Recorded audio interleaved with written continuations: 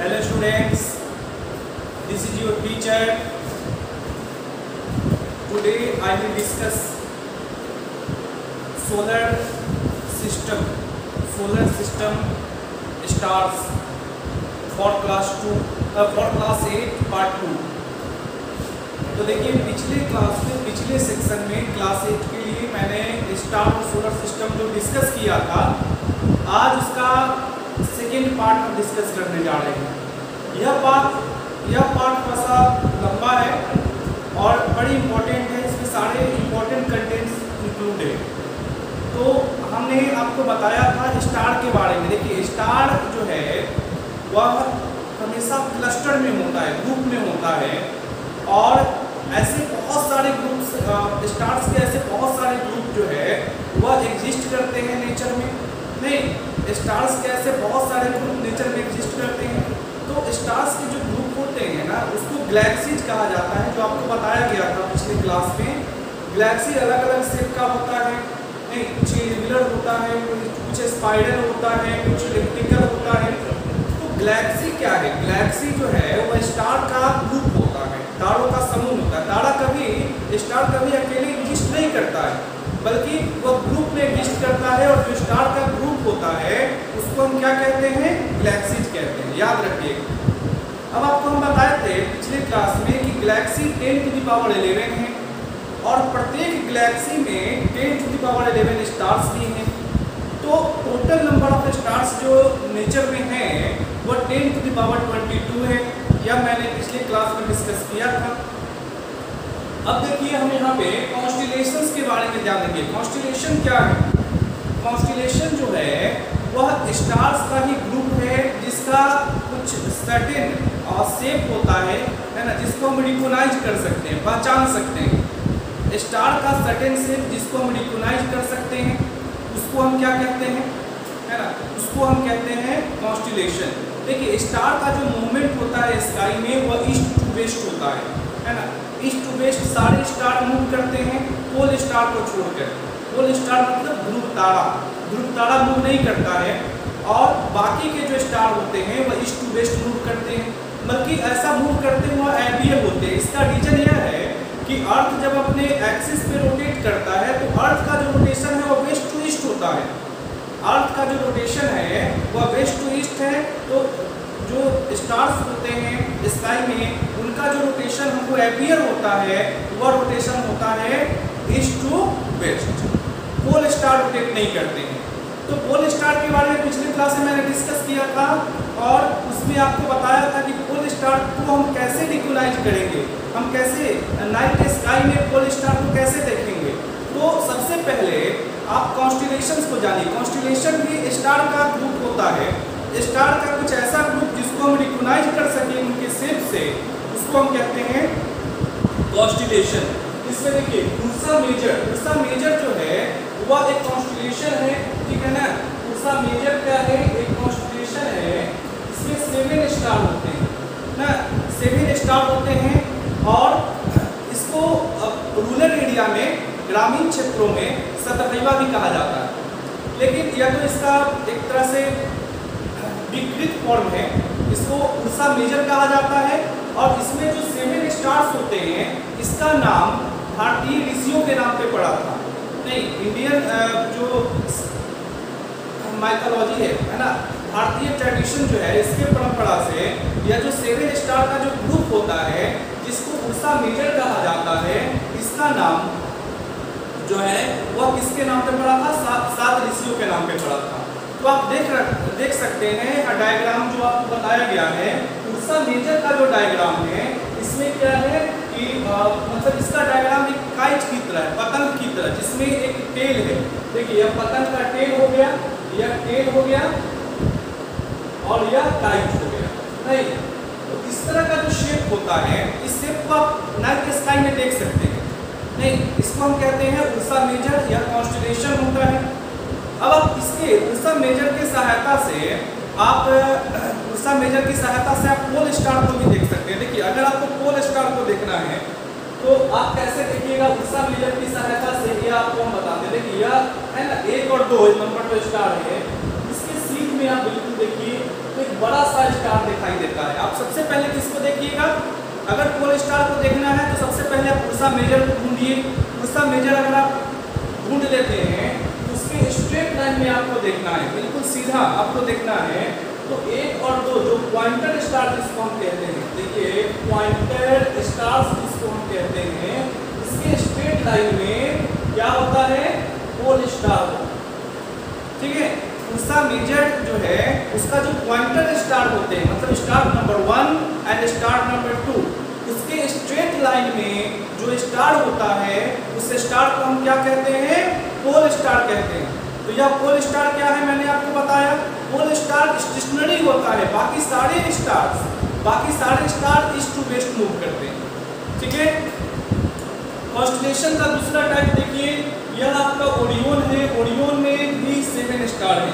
और ओरियोन का सिर्फ़ है ना, बिल्कुल हंटर की तरह होता है। है ना? कोई शिकारी की तरह। ठीक है? हंटर की तरह इसका ओरियोन का सेप होता है। इसका लिबड़ा है। देखिए लिबड़ा का सेप जो होता है वह स्केल पेन तराजू की तरह होता है है ना? इसमें चार स्टार होते हैं लिबड़ा में चार स्टार ही है, ठीक है? तो अलग अलग कॉन्स्टलेशन का जो शेप होता है, वह अलग अलग होता है।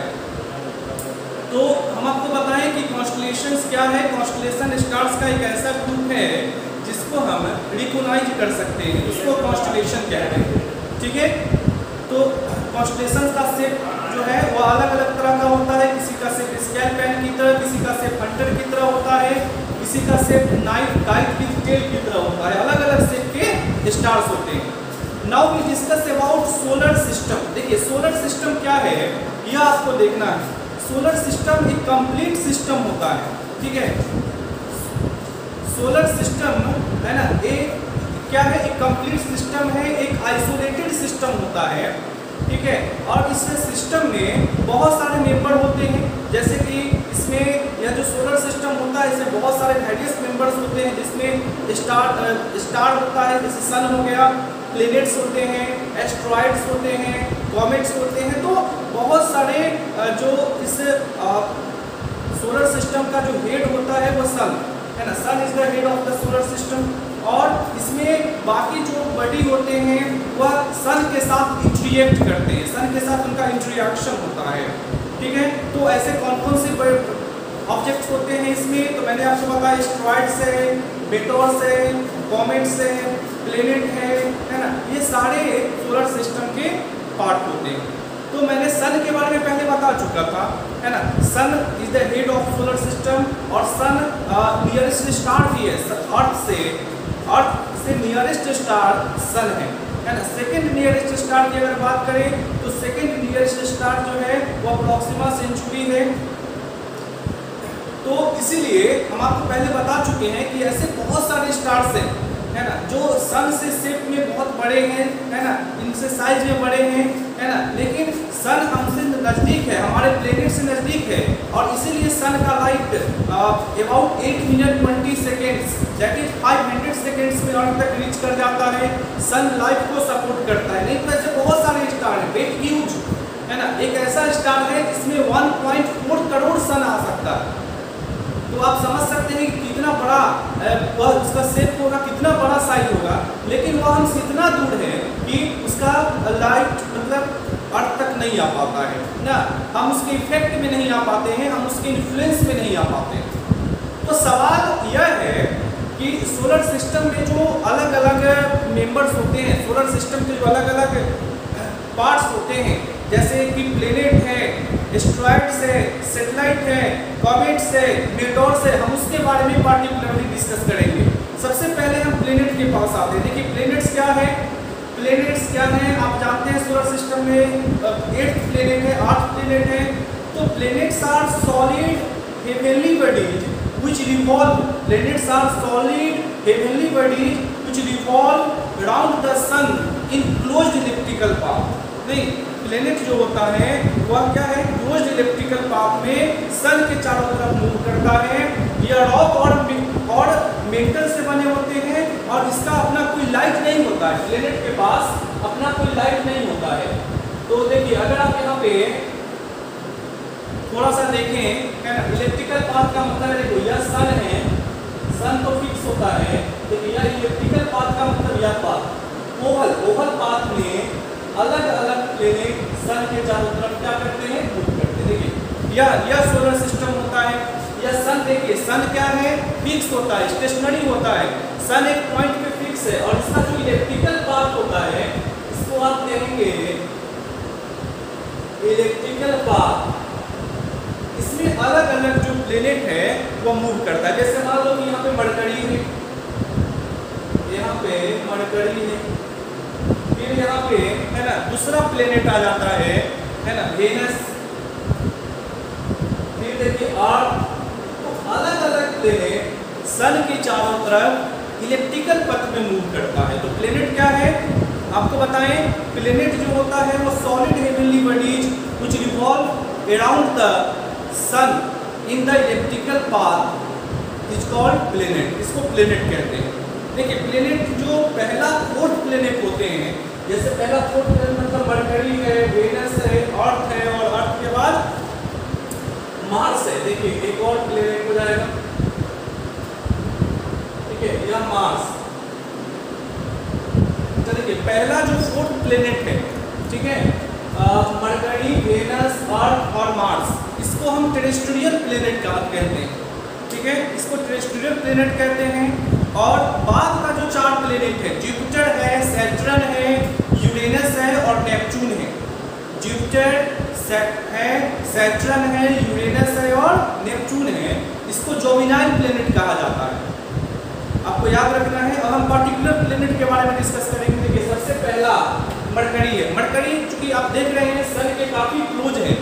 मरकरी सन के काफ़ी क्लोज है तो यह काफ़ी हॉट होगा। इसमें तो कोई डाउट नहीं होना चाहिए। यह काफ़ी हॉट होगा। इतना हॉट है कि इसका temperature four hundred degree C मतलब यहाँ पे लाइफ किसी भी कंडीशन में एग्जिस्ट नहीं कर सकता। है ठीक है? यहाँ पे वाटर भी नहीं हो सकता है क्योंकि वाटर का boiling point hundred degree C है तो फोर हंड्रेड डिग्री सी पे वाटर अपने लिक्विड फॉर्म में तो नहीं होगा, ना? मतलब यह गैसेस फॉर्म में भी वाटर एग्जिस्ट नहीं कर सकता। इतना ज़्यादा यहाँ पे, है ना? टेम्परेचर है, इतना ज़्यादा गर्मी है कि लाइफ यहाँ पे एग्जिस्ट नहीं कर सकता है। और मरकरी के पास, है ना?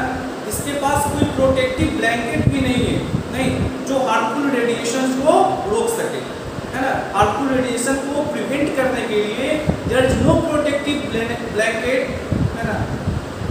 और मरकरी तो मरकरी काफ़ी हॉट प्लेनेट है नियरेस्ट प्लेनेट होता है, इसलिए यहाँ पे लाइफ एग्जिस्ट नहीं कर सकता है। सेकंड प्लेनेट देखिए वेनस है। वेनस है, यह सेकंड प्लेनेट है और क्लोजेस्ट प्लेनेट है अर्थ से।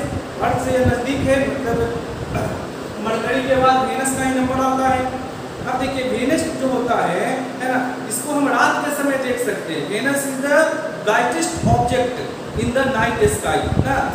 एक्सेप्ट मून मून को हटा के, है ना? मून को अगर हम हटा दें तो except moon which is the brightest object in the night sky रात के समय आप इसको देख सकते हैं। It is visible in the early in the morning है ना? इन ईस्टर्न स्काई है ना? ईस्टर्न स्काई में आप इसको सवेरे देख सकते हैं और वेस्टर्न स्काई में है ना? अर्ली इवनिंग है ना? अर्ली इवनिंग आप इसको वेस्टर्न स्काई में देख सकते हैं। तो यह जो सेकंड प्लेनेट है वेनस यह भी गर्म होगा ये भी हॉट होगा।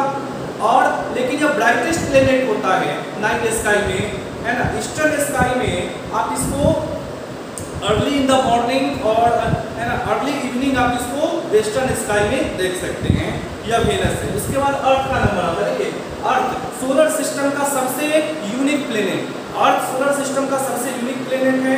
आपको बताए थे कि अर्थ से जो सन का एवरेज डिस्टेंस होता है that is called astronomical unit उसको एस्ट्रोनॉमिकल यूनिट कहा जाता है। और वह एवरेज डिस्टेंस होता कितना है? देखिए, जो एवरेज डिस्टेंस है, अर्थ से सन का जो एवरेज डिस्टेंस आपको बताया थे ना 1.5 point five into ten power eleven metre यही एवरेज डिस्टेंस है ना? 1.5 into 10 to the power 11 meter. This is the average distance of uh, Earth from the Sun. तो यह है अर्थ देखिए अर्थ एक यूनिक प्लेनेट है इसका सबसे बड़ा रीजन यह है कि अर्थ के पास एक एटमॉस्फेरिक जो सराउंडिंग है एटमॉस्फेयर है वह है एटमॉस्फेयर में जो लाइफ सपोर्टिंग गैसेज है वो प्रेजेंट होती हैं अर्थ के पास वाटर है पानी है है ना अर्थ के पास जो टेम्परेचर लिमिट है है ना? जैसे सन से जो अप्रोप्रिएट डिस्टेंस मेंटेन करता है अर्थ तो जब यह सन से अप्रोप्रिएट डिस्टेंस को मेंटेन करेगा तो क्या होगा? उस कंडीशन में जो टेम्परेचर लिमिट चाहिए for the survivability of life वह प्रेजेंट है। नहीं, इसलिए अभी तक अर्थ ही एक ऐसा प्लेनेट है जिसमें लाइफ की पॉसिबिलिटी है। तो क्यों पॉसिबिलिटी है? इसका वेरियस रीजन है। सबसे पहला रीजन गैसियस सराउंडिंग है इसके पास। That is called atmosphere Earth के पास अपना एटमोस्फेयर है है ना? अर्थ के पास प्रॉपर ग्रेविटी है, जिससे वह एटमोस्फेयर को होल्ड कर सकता है। अर्थ का जो ग्रेविटी है, वो प्रॉपर है और जिसके चलते यह क्या कर सकता है है ना? एटमोस्फेयर को होल्ड कर सकता है। दूसरा, यहाँ पे वाटर है टेम्परेचर लिमिट है लाइफ सपोर्टिंग सिचुएशन है लाइफ सपोर्टिंग गैसेज है। और ये सारे रीजन्स अर्थ को यूनिक प्लेनेट बनाते हैं, जिससे कि लाइफ यहाँ पे एग्जिस्ट कर सकता है। अब देखिए अर्थ के बाद हम मार्स को देखेंगे मार्स ठीक है? मार्स जो टेरेस्ट्रियल जो प्लेनेट्स होते हैं, उसका सबसे लास्ट पार्ट है मार्स यह फोर्थ प्लेनेट होता है। और यह काफ़ी दूर है सन से, ठीक है? काफ़ी दूर है, और इसीलिए कोल्ड प्लेनेट है। मार्स को कोल्ड प्लेनेट कहा जाता है। इसका जो सरफेस होता है है ना? वह मतलब आयरन ऑक्साइड्स के कारण, है ना? रेड होता है और इसीलिए इसको रेड प्लेनेट भी कहा जाता है मार्स ठीक है? मार्स को रेड प्लेनेट भी कहा जाता है और यह छोटा प्लेनेट है, बहुत ज़्यादा बड़ा प्लेनेट नहीं है और यह काफ़ी ठंडा होता है क्योंकि यह सन से काफ़ी डिस्टेंस पे है। देखिए मार्स के बाद जुपिटर है। जुपिटर एक इंपॉर्टेंट प्लेनेट है जोमिनाल प्लेनेट यहाँ से स्टार्ट हो जाते हैं। जुपिटर सबसे बड़ा प्लेनेट है। अर्थ के साइज़ से 300 गुना साइज़ इसका बड़ा होता है। काफ़ी बड़ा प्लेनेट है सूरज सिस्टम का काफ़ी हेवी प्लेनेट होता है। ठीक है? और it is the first of the gas type planet made of mainly hydrogen and helium यह जो जुपिटर है, वो मुख्य रूप से हाइड्रोजन और हीलियम से बना होता है। है ना? यह ब्राइट ऑब्जेक्ट होता है स्काई में, है ना? और इसके पास एक रिंग भी होता है। ठीक है? लेकिन यह यह रिंग जो होता है मतलब मान लीजिए जुपिटर है यह सपोज़ दैट यह जुपिटर प्लेनेट है, इसके चारों तरफ़ देखिए इसके चारों तरफ़ एक रिंग होता है। यह रिंग जो होता है ना यह इसको एक फीचर प्रोवाइड करता है, लेकिन यह रिंग का कोई फ़ंक्शन नहीं है। यह रिंग काफ़ी थीन होता है। जुपिटर के पास चारों तरफ़ जो रिंग होता है, वह काफ़ी थीन होता है। इसलिए इस रिंग का कोई इंपॉर्टेंस नहीं है है ना? और नहीं यह नहीं यह विजिएबल होता है, लेकिन रिंग होता है, ना? जुपिटर जो होता है, इसके पास डीप एटमोस्फेयर है, ना? और यह आपको बता दें कि जुपिटर के पास भी लाइफ सपोर्टिंग सिचुएशन नहीं है, इसलिए भी लाइफ सपोर्ट नहीं कर सकते। सैटर्न जुपिटर के बाद अनदर प्लेनेट है सैटर्न देखिए। सैटर्न जोविनाइल प्लेनेट का ही पार्ट है। सैटर्न सोलर सिस्टम का सबसे ब्यूटीफुल प्लेनेट है और सैटर्न के चारों तरफ़ भी रिंग होता है, लेकिन वह रिंग ठीक होता है। सैटर्न जो होता है, ठीक है, देखिए सैटर्न प्लेनेट के चारों तरफ़ जो रिंग है, वह काफ़ी थिक रिंग होता है और यह इसको ब्यूटीफुल प्लेनेट बनाता है। ना काफ़ी सुंदर प्लेनेट सोलर सिस्टम का, वह सैटर्न होता है। और आपको हम बता दें कि सोलर सिस्टम का second biggest planet second biggest planet after Jupiter यह सैटर्न होता है है ना? और यह मतलब यह सराउंडेड होता है हंड्रेड्स ऑफ़ नैनो रिंग्स ना? और यह जो नैनो रिंग्स होता है, वह इसको क्या कहलाता है? सुंदर बनाता है। मैंने आपको भी बताया नैनो रिंग ठीक होता है और इसको ब्यूटीफुल प्लेनेट बनाता है। सैटर्न के पास एक और फीचर होता है। वह फीचर क्या है? वह फीचर यह है कि सैटर्न जो होता है है ना? सैटर्न के पास एक और फीचर है। वह फीचर है कि इसकी डेंसिटी वाटर की डेंसिटी से भी कम होती है। तो अगर आप सैटर्न को पानी में रख देंगे क्योंकि आपको याद होगा, पहले कहानी में एक बार एक राक्षस था हिरण्यक्ष एक राक्षस था जो पृथ्वी को पानी में जाकर डुबा दिया। समुद्र में। नहीं, छुपा दिया। तो फिर भगवान विष्णु बड़ा अवतार धारण करके उसको बाहर निकाले तो अगर सैटर्न को पानी में डालेंगे तो पानी के ऊपर भी फ्लूट करेगा, क्योंकि पानी से डेंसिटी इसका कम है वाटर से डेंसिटी इसका कम है तो ये पानी में नहीं डूबेगा, नहीं? तो आप देखिए, अगर सैटर्न एक बॉल की तरह हो जाए, है ना तो वह क्या होगा? वाटर के सरफेस पे फ्लोट करेगा, पानी में डूबता नहीं। यूरेनस देखिए थर्ड बिगेस्ट प्लेनेट होता है सोलर सिस्टम का, वह यूरेनस है, और यह कोल्ड प्लेनेट है। सेट्रन भी कोल्ड होगा क्योंकि यहाँ यह भी काफ़ी डिस्टेंस मेंटेन करता है सन से। और यूरेनस जो होगा, वह भी कोल्ड प्लेनेट है। नेपचून देखिए नेपचून जो होता है, वह just beyond the Uranus Uranus के ठीक बाद आता है, और यह यूरेनस के साइज़ के सिमिलर साइज़ जो है, वह नेपचून का होता है, और इसके पास ही रिंग होता है, ठीक है? लेकिन यह रिंग भी काफ़ी थीन होता है और नेपचून को भी, है ना, नेपचून भी कोल्ड प्लेनेट हो जाता है है ना। तो अभी मैंने प्लेनेट्स के बारे में डिस्कस किया। अब हम सेटेलाइट्स के बारे में चलेंगे। द मतलब दूसरा पार्ट जो सोलर सिस्टम के, जो एक पार्ट था प्लेनेट्स उसके बारे में मैंने डिस्कस किया।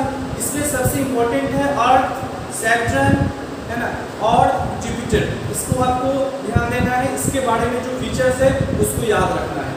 चलिए, अगर हम सेटेलाइट्स के बारे में देखें, देखिए सेटेलाइट्स क्या है? सेटेलाइट्स के बारे में आप जानते होंगे कि satellite is a solid heavy heavenly body that revolve around a planet solid heavenly body जो प्लेनेट के चारों तरफ़ मूव होता है, उसको सेटेलाइट कहते हैं। नहीं मतलब सेटेलाइट क्या है? ऐसा बॉडी जो प्लेनेट के चारों तरफ़ मूव करे। उसको हम सेटेलाइट कहते हैं। या नेचुरली भी होता है और आर्टिफिशियली भी इसको बनाए जाते हैं। ना तो नेचुरल सेटेलाइट हर प्लेनेट का अपना होता है, जैसे अर्थ का एक सेटेलाइट है मून नहीं अर्थ के चारों तरफ़ मून रिवॉल्व होता है ना तो हम कह सकते हैं कि सेटेलाइट को मून भी कह सकते हैं, ठीक है ना? सेटेलाइट को मून भी कह सकते हैं क्योंकि इसलिए कह सकते हैं सेटेलाइट को मून सेटेलाइट को मून कहने का रीजन यह है, क्योंकि अर्थ से रिलेटेड है, क्योंकि अर्थ का मून सेटेलाइट है, और इसीलिए सेटेलाइट को हम मून भी कह सकते हैं। तो हर प्लेनेट का अपना सेटेलाइट होता है है ना? अब यह डिफिनिट नहीं है कि, है ना, हर प्लेनेट का सेटेलाइट हो भी, चाहे उसको पूजा मतलब डिस्कवर भी किया जाए। जैसे वेनस का दो सेटेलाइट है है ना? जुपिटर का 67 सेटेलाइट है सैटर्न का 62 सेटेलाइट है। उसके बाद यूरेनस 27 है नेपचून 14 है मार्स का दो है और अर्थ का एक है वेनस का भी दो है। हर प्लेनेट का अपना सेटेलाइट है। ठीक है? अब आर्टिफिशियल सेटेलाइट देखिए जो हमारे लिए कितना इम्पोर्टेंट है इसको हम डिस्कस करेंगे। आर्टिफिशियल सेटेलाइट जो होता है वो मैनमेड सेटेलाइट होता है। सबसे पहला जो आर्टिफिशियल सेटेलाइट रशिया की तरफ़ से गया था फोर्थ अक्टूबर 1957 में। उसका नाम था स्पुतनिक फ़र्स्ट उसके बाद आ, इंडिया का जो पहला आर्टिफिशियल सेटेलाइट था आर्यभट्ट 1975 आर्टिफिशियल सेटेलाइट जो कम्युनिकेशन से रिलेटेड था पहला इको फ़र्स्ट था, है ना? तो यह जो सेटेलाइट होते हैं, है ना? सेटेलाइट इसका बहुत सारा यूज़ होता है और एक इसमें बड़ा यूज़ होता है टेली कम्युनिकेशन है ना? कम्युनिकेशन में जो टीवी आप देखते हैं आज, है ना? सेटेलाइट से, ना? जो कनेक्टेड होता है मोबाइल कम्युनिकेशन जो होता है mobile phone three G four G जो आज फाइव जी भी लॉन्च होने जा रहा है तो उसमें वह आर्टिफिशियल सेटेलाइट पे ही बेस्ड होता है। तो आर्टिफिशियल सेटेलाइट जो इंडिया का है, जैसे कि आर्यभट्ट है जीसेट है GSAT thirty GSAT thirty one GSAT eleven Rohini है भास्कर है, बहुत सारा सेटेलाइट इंडिया का भी है, जो आर्टिफिशियल सेटेलाइट है इंडिया ने भी लॉन्च किया। नहीं, अब देखिए सेटेलाइट का यूज़ भी बहुत सारा होता है। क्या क्या यूज़ है सेटेलाइट का? इसका यूज़ होता है आपको वेदर फॉरकास्टिंग में।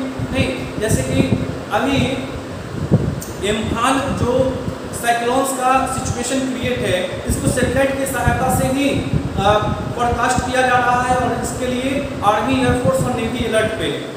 उसके बाद टेलीफोन्स में होता है नेविगेशन में। नेविगेशन का मतलब है कि वह जीपीएस वगैरह जो सिस्टम होता है ग्लोबल पोजिशनिंग सिस्टम जिससे ट्रेस किया जाता है लोकेशन को। ठीक है? आजकल गाड़ियों में भी जीपीएस सिस्टम लगे होते हैं, जिससे कि उसके लोकेशन को ट्रेस कर दिया जाता है। है ना? सेफ्टी के लिए होता है। ना बहुत सारा इसका यूज़ होता है सेटेलाइट का। तो मैंने सेटेलाइट के बारे में डिस्कस किया। अब देखिए एस्ट्रॉइड्स एस्ट्रॉइड्स के बारे में हम डिस्कस करेंगे। एस्ट्रॉइड्स जो होता है, वह वेरी स्मॉल प्लेनेट्स होता है। है ना? सोलर सिस्टम का एक बहुत ही छोटा ग्रह। है ना? That is as like as dot planet बिल्कुल उसको डॉट प्लेनेट की कैटेगरी में हम रख सकते हैं। और इसकी जो मेजोरिटी होती है ना एस्ट्रॉइड्स की, वह देखिए जो सोलर सिस्टम होता है, जो प्लेनेट की सिचुएशन होती है, उसमें मार्स और जुपिटर के बीच में एक बड़ा स्पेस ब्लैंक होता है। इसी ब्लैंक स्पेस में, इसी ब्लैंक स्पेस में एस्ट्रॉइड्स होते हैं एस्ट्रॉइड्स आते हैं, ठीक है? और आपको हम बता दें कि एस्ट्रॉइड्स जो होते हैं रॉक और मेटल्स के बने होते हैं, ठीक है? और इसका जो साइज़ है है ना वह अलग अलग होता है। कुछ बड़े भी होते हैं और कुछ छोटे भी होते हैं। मतलब आपको बता दें कि वो इतने छोटे होते हैं, बिल्कुल कंकड़ की तरह पीबल्स की तरह होते हैं। नहीं, बिल्कुल पीबल्स की तरह होते हैं, कुछ काफ़ी साइज़ में बड़े होते हैं। आपको हम बता दें कि लगभग है approximately one lakh asteroids in the solar system one lakh asteroids होते हैं। और जब इनका इंट्रिएक्शन होता है ग्रेविटेशनल इंट्रिएक्शन जब होगा तो हो सकता है कि कभी कभी वह अर्थ से टकराए अर्थ से टकरा जाए। है ना, अर्थ से टकराने की सिचुएशन होती है। तो एस्ट्रोनॉट्स इस सिचुएशन को एस्ट्रोनॉट्स इस सिचुएशन को प्रॉपरली क्या करते हैं? है ना प्रॉपर उसको देखते रहते हैं कि अगर इस तरह की सिचुएशन होती है तो उसको रोकते हैं। अब देखिए कॉमेट्स के बारे में हम डिस्कस करेंगे। कॉमेट्स क्या है? Comets is a collection of gas and dust which appears as a bright ball comets is a collection of gas and dust which appears as a bright ball of light in the sky with a long glowing tail ना comets का एक identification है कि इसमें बड़ा tell भी होता है लॉन्ग टेल होता है और इसका टेल हमेशा सन से अवे होता है।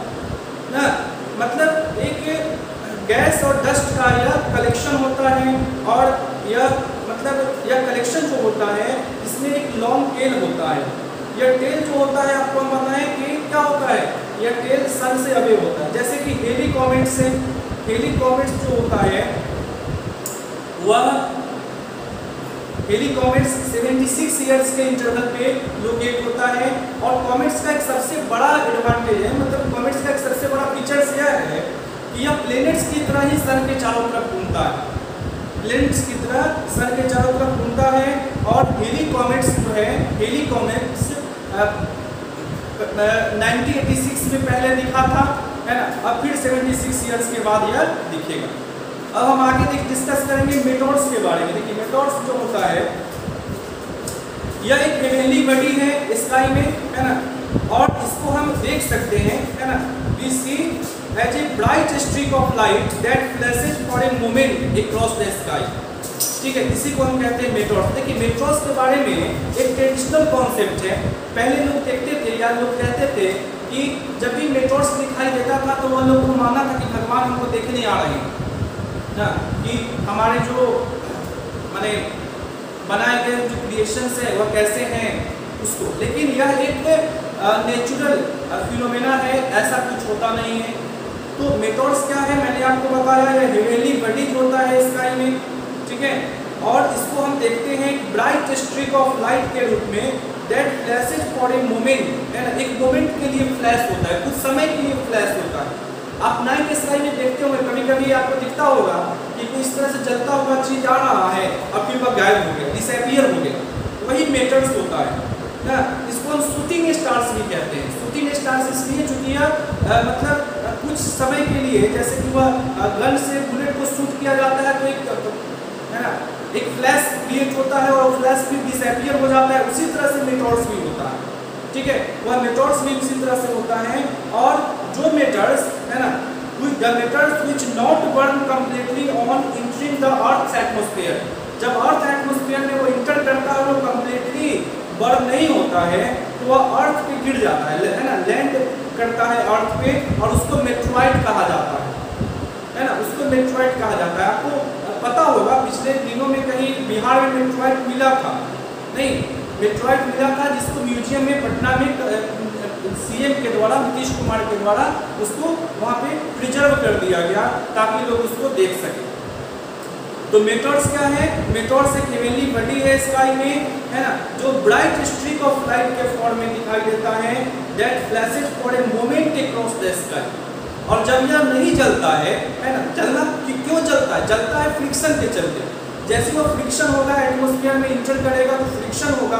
तो फ्रिक्शन जब होगा तो वह जलने लगता है। नहीं, और वह जल जाता है ऊपर ही। ऊपर ही जल गया तो वह फिर डिसअपियर हो जाता है। अगर नहीं चलता है तो फिर सॉलिड फॉर्म में ग्राउंड पे आ जाता है। और उसका जो सॉलिड फॉर्म होता है, उसको हम कहते हैं मेट्रॉइड ठीक है? उसके सॉलिड फॉर्म को मेट्रॉइड कहते हैं। तो मेट्रॉइड होता क्या है? Sort of stone from the sky है ना? ए सॉर्ट ऑफ़ स्टोन है ना? फ्रॉम द स्काई इसको हम कहते हैं मेट्रॉइड ठीक है? तो यह सोलर सिस्टम का जो सेकेंड पार्ट है, इसको मैंने देखा और यह, इसमें मैंने अलग अलग जो सोलर सिस्टम की जितने भी कंपोनेंट्स हैं प्लेनेट्स हैं एस्ट्रॉइड्स हैं कॉमेट्स हैं मेटोर्स हैं मेट्रॉइड्स हैं, सब के बारे में हमने डिस्कस किया. तो इस तरह से जो हमारा यह सेकेंड पार्ट है, यह पार्ट टू है, यह हमने, है ना कंप्लीट कर लिया है पार्ट टू और यह जो सोलर सिस्टम की जो चैप्टर है स्टार एंड सोलर सिस्टम की जो चैप्टर है, यह भी हमारी फिनिश हो गई।